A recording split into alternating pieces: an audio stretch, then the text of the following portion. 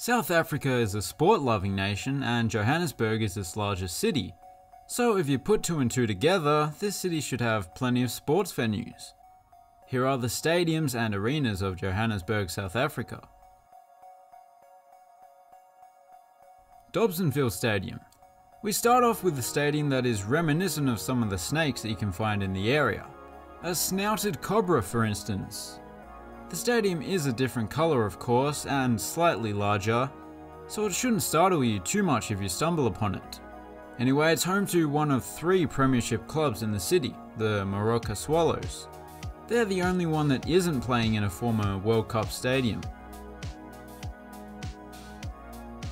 FNB Stadium, or the Calabash as it's affectionately known, owing to its resemblance to a calabash pot, has been featured on the channel several times now. At least one of those times was due to it being the largest stadium on the continent. It technically opened in 1989, but was almost completely rebuilt just prior to the 2010 World Cup, where it hosted the final. I would tell you the result, but all I remember is the sound of those vuvuzelas. Anyway, this is an incredible stadium, although I kinda wish they had a variety of colours inside, just like the exterior. The Wanderers is the home of cricket in Johannesburg. Every international match that takes place in the city takes place here, and for good reason. As well as being the largest cricket stadium in Africa, it's known for having one of the most hostile atmospheres in cricket. As for the design, well, it's kinda interesting. There's basically every type of seating you could want. Most of the capacity is coming from moulded plastic seats, but there's a grass hill, a grass terrace, a rickety looking metal stand or two. What more could you want? We Buy Cars Dome. This was once a world class sporting and music venue, but it was recently sold to a company called We. Oi, f off. I'm Johan van Belt from We Buy Cars. We bought this big ass dome and filled it with like a thousand cars. I'm not even joking. There are so many cars that we bought because we buy cars, that's what we do. Nobody can use this place now, but you can come and also buy cars if you want. We buy cars. Hashtag not spawn. Where do these people come from? Orlando Stadium. In order of Orlando notoriety worldwide, I think it goes Orlando, Florida, Orlando Bloom, and then Orlando. The township in the Johannesburg Metropolitan Municipality, but Orlando Bloom doesn't have a stadium anywhere near as good as this. Just like FNB Stadium, it was rebuilt prior to the World Cup. I find it kinda interesting that this is home to a club called the Orlando Pirates, because Johannesburg is an inland city, so I can only assume these guys were burning DVDs back in the day when they got their name. Then again, Pittsburgh is also an inland city. UJ Stadium. If OJ is orange juice, then UJ must be University of Johannesburg, of course. These days, this is primarily an athletics and rugby facility. However, it was used as a training facility during the World Cup. Although it is in one of Africa's biggest cities, it's actually situated in a pretty serene setting on the Auckland Park campus. Squozen between two dams and surrounded by trees. Yeah, nice place. Alexandra Stadium is situated in a completely different locale. In fact, the area is considered to be a slum.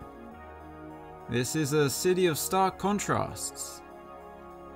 As you might expect, the stadium doesn't have top-notch amenities, not even close. The capacity is mostly coming from people sitting on concrete steps. But there is a spattering of plastic seats and they're all under the cover of a roof, so if you get in early and sit there, it's pretty much indistinguishable from FNB Stadium, basically. Ellis Park is probably the most iconic rugby stadium in South Africa.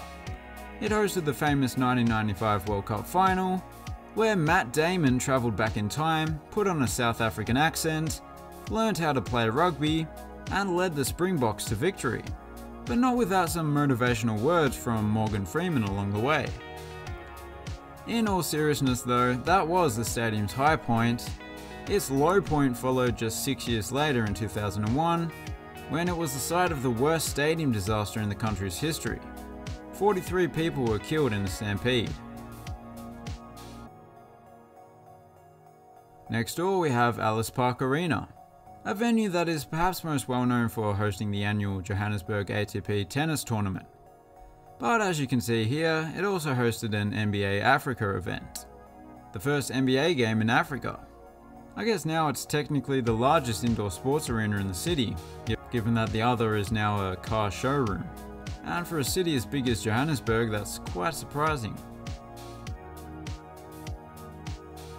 In the same complex we have Johannesburg Stadium, which is the city's premier track and field facility. It's not surprising that there's no footballing tenant, given that there are at least four rectangular stadiums in the city of equal or better quality. The design is one that is quite common amongst athletic stadiums. In particular, the asymmetrical bowl layout with a sweeping roof covering the larger side. Looks good, but as you can see, it's not in the best condition nowadays. Rand Stadium. Wow, in 1951 you could build an entire stadium for just one rand. That's inflation for you, you can't even buy a bag of chips with one rand nowadays. Now, South Africa was using the pound back then, not the rand. Just one of the reasons that joke doesn't work.